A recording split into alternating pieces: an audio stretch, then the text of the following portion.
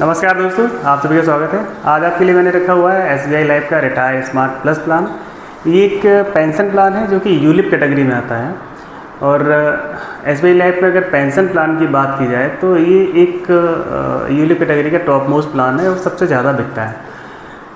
लेकिन इस प्लान में अगर सेल की बात की जाए तो जो मैंने ऑब्जर्वेशन किया हुआ है, ये कहीं ना कहीं इसमें उस तरीके से इस प्लान को सेल नहीं किया जाता, जिस तरीके से ये प्लान डिज़ाइन किया गया। जो इसका पर्पज़ है, वो पर्पज़ इसकी सेल में नहीं होता है और ये दूसरे तरीके से सेल किया जाता है। तो कुछ इसके इस ऐसे पॉइंट हैं, जिनका लोग लूज पोल लेके उसका दुरुपयोग करते हैं और कस्टमर के हिसाब से अगर बात की जाए तो जो बेनिफिट उन्हें इस प्लान में मिल सकता है, वो बताया ही नहीं जाता है। तो उन्हें भी एक शॉर्टकट दिखता है। तो आज इसमें मैंने वो पॉइंट कुछ ऐसे रखे हुए हैं ताकि आप ये समझ सकें कि ये प्लान एक्चुअली में किस पर्पज़ के हिसाब से बनाया गया है और उसे अगर सील किया गया है और आपने लिया है तो उसमें आपको क्या बताया गया है और क्या इसके अंदर वास्तव में आपको मिलने वाला है? तो ये सारी चीज़ें हैं। तो सबसे पहले इसके देखते हैं बेसिक बेसिक पैरामीटर क्या है, जिसके अंतर्गत आप प्लान में आ सकते हैं और बाद बाकी फिर डिस्कस करेंगे इसके मेन प्लान के जो टॉपिक हैं, जो आपको समझने ज़रूरी हैं। अगर आपने ये प्लान लिया है तो ये आप इस प्लान को लेने वाले हैं तो। क्योंकि इनमें कहीं ना कहीं ऐसा है, कुछ ऐसे पॉइंट हैं जो आपको जानना ज़रूरी है।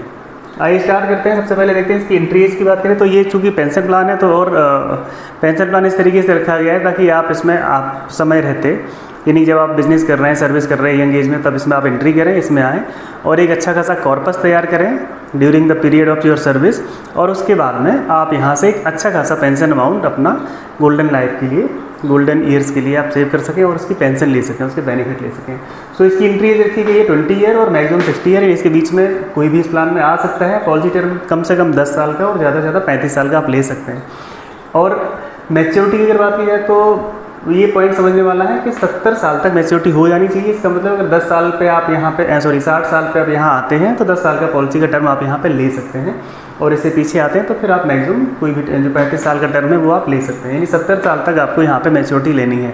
मैच्योरिटी का मतलब ये नहीं है कि आप पैसा लेके यहाँ से चले जाएँगे। मैच्योरिटी का मतलब ये है कि आप वहाँ पर पैसा देना बंद करके आपका जो भी वहाँ फंड बढ़ रहा है, जो कॉर्पस बन रहा है, वो कॉर्पस बनना यहाँ पर क्लोज हो जाएगा, फिर आपको पेंशन लेनी पड़ेगी।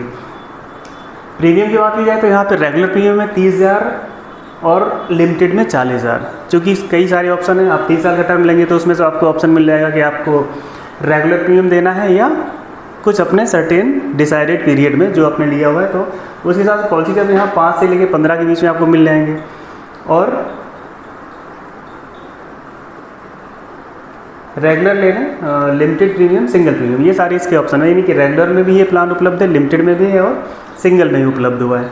और प्रीमियम मोड की बात की जाए तो yearly half yearly single quarterly yearly half yearly monthly ये सारे यहाँ पे हैं जो आप इसमें ऑप्शन ले सकते हैं। प्रीमियम और जैसे कुछ लोग जो मंथली मोड में लेना चाहते हैं तो मंथली मोड में अगर आप रेगुलर प्रीमियम लेना चाहते हैं तो आप यहाँ पे तीन हज़ार पर मंथ में आ सकते हैं और अगर लिमिटेड प्रीमियम में आप मंथली मोड में ले रहे हैं तो फिर आपको पाँच हज़ार कम से कम महीने में देना पड़ेगा। ये तो इसके बेसिक पैरामीटर हैं। ये बस एक बताना रहता था कि आप समझ सकें कि इसमें कौन प्लान में आ सकता है। अगर आप एडवाइज़र हैं या मैनेजर हैं जो इस वीडियो को देख रहे हैं तो आपको ये पता होना चाहिए कम से कम कि किसे ये प्लान हम दे सकते हैं। लेकिन प्लान देने के बाद में इसका पर्पज़ क्या है और इसके क्या बेनिफिट हैं, क्या शर्तें इसमें रहती हैं, वो समझना ज़्यादा ज़रूरी है। तो आई मेन यहाँ पर आते हैं इसके पार्ट पर ये समझना थोड़ा सा इम्पोर्टेंट है। तो सबसे पहले इस प्लान का उद्देश्य क्या है? प्लान का उद्देश्य है corpus creation for the pension आपने जो टर्म लिया है, वहाँ पे आप अपना पैसा इकट्ठा करके और एक अच्छा अमाउंट तैयार करें और उसके बाद वहाँ से पेंशन लें। ये इस प्लान का उद्देश्य है। तो सबसे पहला ये मैंने लाइन लिखी हुई है।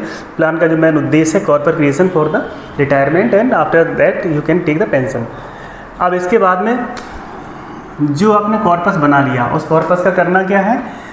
कॉर्पस इकट्ठा होने के बाद में आपके पास में ऑप्शन रहेगा कि आप उसी समय पेंशन ले सकें।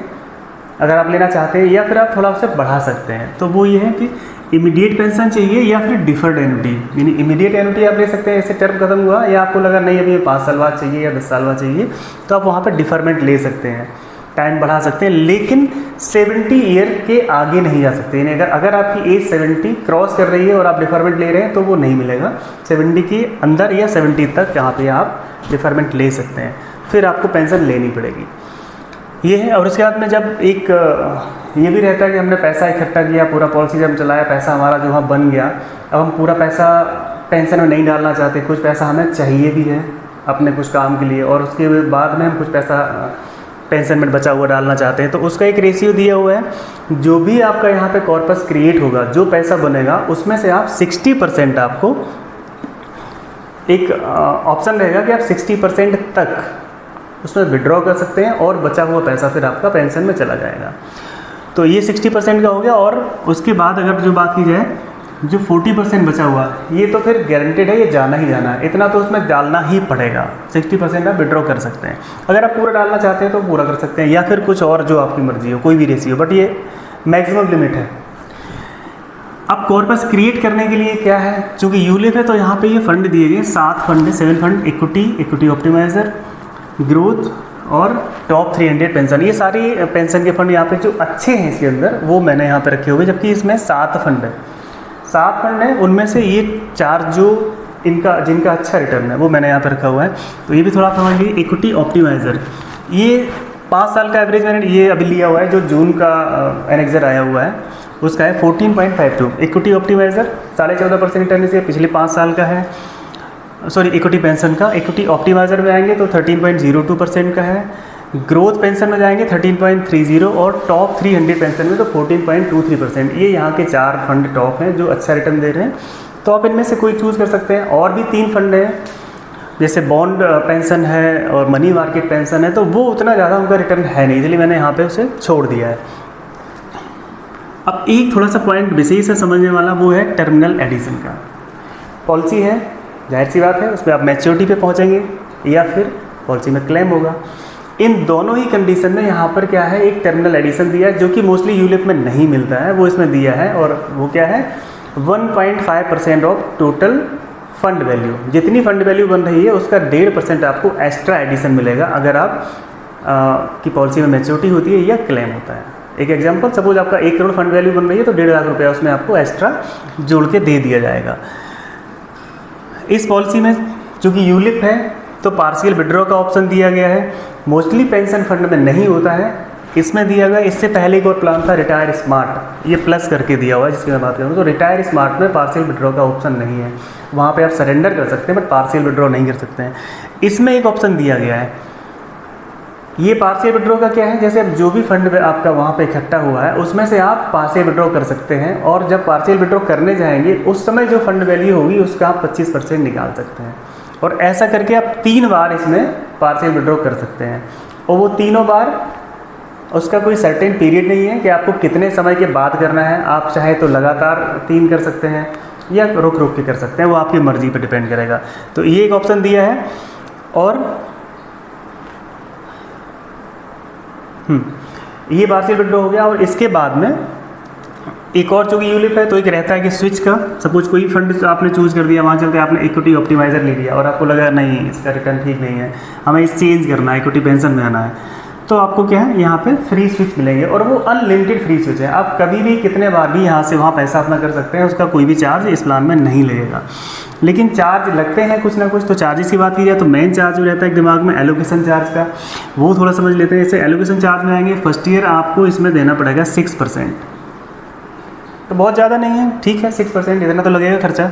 सेकेंड ईयर में आते हैं तो four point seven five percent third year में थर्ड ईयर से और टेन ईयर ये बीच का जो पीरियड यहाँ पे आपको चार परसेंट लगातार चार्जेस देने पड़ेंगे और उसके बाद में ग्यारह से आगे अगर आप जाते हैं तो ढाई परसेंट का फिर चार्ज आपका रहेगा, यानी टू पॉइंट फाइव परसेंट तो ओवरऑल अगर चार्जेस की बात की जाए तो ये मीडियम लेवल के चार्ज हैं। बहुत ज़्यादा नहीं है, बहुत कम भी नहीं है। एक प्लान के हिसाब से देखा जाए तो नॉर्मल इसके चार्जेस हैं, जो आपको यहाँ पर लगेंगे। फंड मैनेजमेंट चार्ज ज़ाहिर सी बात है कोई भी फंड है तो उसका कुछ ना कुछ चार्ज रहता है तो 1.35 परसेंट है इन चारों का। बॉन्ड और मनी मार्केट में जाएँगे तो वहाँ पे फिर वन परसेंट और one point two five percent है। लेकिन अगर आप इसमें आते हैं तो मेरी सलाह ये रहेगी, इन चारों में से कोई ना कोई आप चूज़ करोगे और किसी फंड में आप ना जाएँ चूँकि इनका रिटर्न ठीक है, और ज़्यादा इधर उधर भटकने की ज़रूरत है नहीं है। तो ये रहा एफ़ का, और हाँ policy admin policy admin charge ये है forty five rupees per month ये आपकी जितने आ, साल पॉलिसी चलेगी उस, उसकी तरीके से ये आपको पर मंथ पैंतालीस रुपये इसमें लगेगा। ये यूलिप में सभी में होता है। किसी किसी में ऐसा रहता है कि पॉलिसी एडमिन चार्ज नहीं लेते। जैसे यहाँ का प्रिवलेज प्लान है उसमें पॉलिसी एडमिन चार्ज नहीं है। क्योंकि वो बड़े प्रीमियम का है तो यहाँ पर ये आपको पैंतालीस रुपये पर मंथ देना पड़ेगा। अब एक बात आती है फुल सरेंडर की। कई बार क्या करते हैं, लोग पॉलिसी ले लेते हैं, फिर बोले नहीं, हमें पेंशन नहीं चाहिए, पैसा निकालना है सरेंडर करना है। तो उसके लिए इसमें ऑप्शन क्या है? फुल सरेंडर आप जब भी करेंगे तो जो आपका अमाउंट बन रहा होगा उधर उस अमाउंट का ये रेशियो 60 और 40 का उसमें लागू हो जाएगा। यानी कि आप चालीस चालीस परसेंट आपको पैसा पेंशन में डालना ही पड़ेगा और 60 परसेंट आप निकाल सकते हैं। तो कई बार क्या करते हैं, लोग इस पॉलिसी को ऐसे भेज देते हैं, जैसे सपोज़ चूँकि इसमें रिस्क कवर ज़ीरो होता है सिक्सटी ईयर तक का इसका। एज कैटेगरी है एंट्री की। मोस्टली यूली 55 पे जाके क्लोज हो जाते हैं। अब कहीं कहीं मेडिकल की बात फंस जाती है तो जब लगता है कि मेडिकल इसका नहीं करवाना है एज कैटेगरी से बाहर हो गए हैं तो इन्हें क्या दिया जाए? कस्टमर चाहता हमें कुछ मिल जाए। तो फिर ये प्लान उठा के दे दिया। हालाँकि उसकी पेंशन की नीड नहीं है पेंशन की कोई ज़रूरत नहीं है, लेकिन ये प्लान दे दिया। अब वो कहता है पाँच साल बाद पैसा चाहिए। फुल सरेंडर और फुल सरेंडर करेंगे तो क्या ये सिक्सटी फोर्टी का रेशियो लागू हो जाएगा, उससे चालीस परसेंट चला जाएगा पेंशन में, साठ मिलेगा उसे तो फिर वो परेशान होगा, बोलेगा ये तो बताया नहीं था। तो उस कंडीशन में ये थोड़ा सा आपको समझना ज़रूरी है कि ये शर्त इसमें लागू होगी ही। लेकिन अगर आपको कुछ ऐसा करना है कि नहीं, हमें पैसा निकालना है और पॉलिसी में, हम पेंशन में नहीं जाना चाहते, या कम से कम पैसा हमारा जाए, ज़्यादा से ज़्यादा हमें मिल जाए तो उसके लिए एक ये ऑप्शन है, जो पार्सियल विड्रो का ये तीन बार का दिया है 25-25 परसेंट। अगर आपको सरेंडर करने का मूड है तो सबसे पहले तो आप ये तीन बार इसका पार्सियल विड्रॉ करें, पहली चीज़। उसके बाद आप सरेंडर करने जाएँ। तो पहले क्या आपकी टोटल जो फंड वैल्यू बन रही, सपोज़ आपका 50 लाख बना वहाँ पे फंड तो आपने उसका 75 परसेंट तीन बार में निकाल लिया तो करीब करीब आपका सैंतीस हज़ार के, सैंतीस लाख के आसपास निकल के आ गया। बचा हुआ तेरह लाख है, उस पर फिर ये सिक्सटी फोर्टी का यहाँ पे रेशियो लागू हो जाएगा। तो आपका एक थोड़ा ही अमाउंट वहाँ पे जाएगा और मोस्टली आपको पैसा मिल जाएगा। और अगर आपका थोड़ा ही कॉर्पस है, पाँच लाख, चार लाख छः लाख है तो फिर आपको पूरा पैसा रिटर्न हो जाएगा। क्योंकि तीन बार आपने पार्सल विड्रॉ कर लिया, उसके बाद फिर आप सरेंडर करने गए तो फिर सिक्सटी फोर्टी का रेशियो लागू हुआ। तो फिर बहुत थोड़ा पैसा है वो पेंशन में जाएगा। और इसमें एक कंडीशन और है पेंशन फंड में पैसा तभी जाएगा जब आपको एक हज़ार रुपये पर मंथ पेंशन मिले। अगर उससे कम आपका अमाउंट हो जाता है तो फिर वो पैसा ऑटोमेटिक आपका आपके पास में आ जाता है, उसमें फिर पेंशन फंड में नहीं जाता। तो ये चीज़ भी इसमें लागू होती है। तो इसलिए जब भी अगर कुछ ऐसा है तो फिर आप ये चीज़ कर सकते हैं। लेकिन तो यहाँ पर जो ध्यान देने वाली बात यह है कि जब भी आपका पेंशन में पैसा जा रहा है तो उस पेंशन फंड में आपको वहाँ पर पेंशन का ऑप्शन कौन सा चूज़ करना है, ये भी ध्यान देना रहता है। क्योंकि आपने कॉर्पस तैयार कर लिया और फिर आप जब पेंशन के लिए आपका पैसा ट्रांसफ़र कर रहे हैं तो उसमें भी बहुत सारे ऑप्शन रहते हैं। तो कभी भी इसमें जाएँगे तो आपको ये दो ऑप्शन मैं सजेस्ट कर रहा हूँ। इन दो में से कोई भी एक आप ले सकते हैं। सबसे पहला तो है life annuity with return of purchase price इसका मतलब क्या हुआ? जो पॉलिसी होल्डर है, जब तक जीवित रहेगा पेंशन मिलेगी और जब वो जीवित नहीं रहेगा तो फिर उसका जो पैसा वहाँ पे दिया गया था, जिस पैसे के बदले पेंशन मिल रही थी, वो उसके नॉमिनी को रिफंड हो जाएगा। ये ऑप्शन ये कहता है। इसी के साथ एक दूसरा ऑप्शन रहता है, वो ये है life and last survivor hundred percent annuity with return of purchase price इसमें कुछ लोग रहते हैं, इन्हें लगता है कि हम, नहीं, मुझे तो पेंशन मिलनी चाहिए, उसके बाद मेरे जो डिपेंडेंट है मेरा, उसे भी वहाँ पे पेंशन मिलनी चाहिए। तो उनके लिए ये ऑप्शन अगर सेल्फ में ये सोचते हैं कि नहीं, मेरे बाद में फिर पैसा वापस मिल जाए तो ये वाला ऑप्शन ऊपर वाला life annuity with return of purchase price अगर चाहते हैं कि सर्वाइवर जो है, उन्हें भी पेंशन चाहिए उसके बाद पैसा वापस हो तो फिर आप आएँगे life and last survivor hundred percent यहाँ पर ध्यान देना hundred percent annuity with return of purchase price तो क्या रहेगा? दो लोग हैं, जब तक जीवित रहेंगे पेंशन मिलेगी और उसके बाद में पैसा वापस हो जाएगा। इसके अलावा बहुत सारे और ऑप्शन होते हैं, उनमें किसी में आप ना जाएँ क्योंकि वहाँ पे वो रिस्की हो सकता है। कुछ अलग अलग टाइप के रहते हैं। इसमें एक हाँ, सबसे खतरनाक ऑप्शन जो मुझे लगता है वो है लाइफ एनुटी लाइफ एनुटी क्या जब तक जीवित रहेंगे पेंशन मिलेगी जिस दिन एक्सपायर होंगे तो क्या होगा? फिर आगे कुछ नहीं मिलेगा। जो आपने पैसा दिया वो भी चला जाएगा।